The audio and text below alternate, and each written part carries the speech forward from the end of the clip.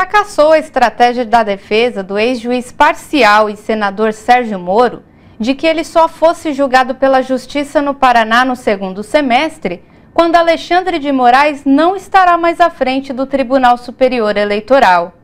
O comentário é de João Caires.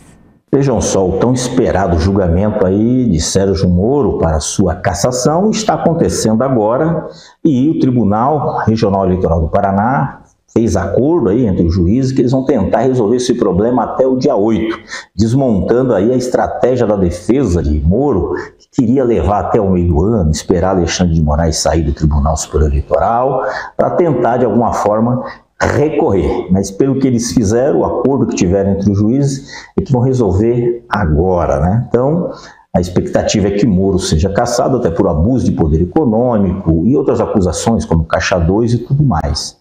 Vejam só, Moro, né, que tentou sair candidato por São Paulo, primeiro tentou sair candidato à presidência, depois tentou sair candidato por São Paulo, teve seu domicílio eleitoral caçado, porque ele nunca morou em São Paulo, assim como sua esposa, que acabou conseguindo né, se eleger por São Paulo, mas já estão dizendo que ela está mudando o domicílio eleitoral para o Paraná, porque caso Moro, Moro seja caçado, ela vai sair candidata ao Senado pelo Paraná. Veja aí o casal Moro, né, que viviam dizendo de ética na política, né? criticavam os políticos tradicionais, estão fazendo o que de pior tem na política. Né? Sai candidato para um estado, mora em outro, mentem descaradamente. Né? Então o Sérgio Moro não tem só que ser punido cassação, tem que ser punido por outras coisas. Né? A questão da Lava Jato, onde ele distorceu a justiça, prejudicou milhares de empresas, né? porque uma cadeia produtiva enorme, então qualquer empresa que tivesse envolvido na Lava Jato, eles não deixavam a empresa trabalhar, não respeitando a lei de recuperação judicial, como sempre teve no Brasil, né? recupera a empresa, a empresa está em dificuldade, você abre, elege o síndico da massa falida, recupera a empresa, eles impediam as empresas de trabalhar e deixavam as empresas quebrarem. Eu lembro que eu participei de um debate no programa Melhor e Mais Justo aqui da TVT, já tem mais de 10 anos, estava né? no auge lá da Lava Jato, e a gente apontava isso, que é, na época a Lava Jato já estava gerando 2 milhões de desempregados no Brasil e destruindo as empresas, que era algo incomum. Então Moro tem que responder por isso.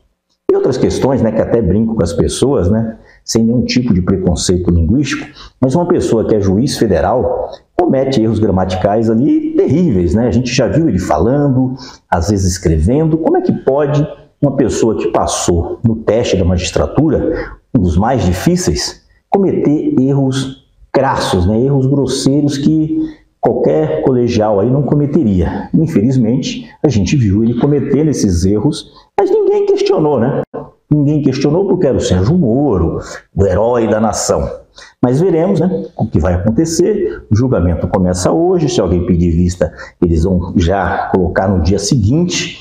Então, a intenção dos juízes lá no Paraná é fazer com que esse processo saia o quanto antes. Aí vamos ver o que vai acontecer com o senhor Sérgio Moro, que era o paladino da moral e que a gente sabe que trabalhou muito para tentar ser o que ele sempre quis, tentou ser ministro do Supremo Tribunal Federal, ajudou a prender Lula para prejudicar e ajudar a eleger Bolsonaro, virou ministro de Bolsonaro, brigou com Bolsonaro, voltou, saiu candidato, mesmo assim apoiando Bolsonaro. Então você vê que essa pessoa que se diz paladino da justiça, paladino da moral, é o que tem de pior na política.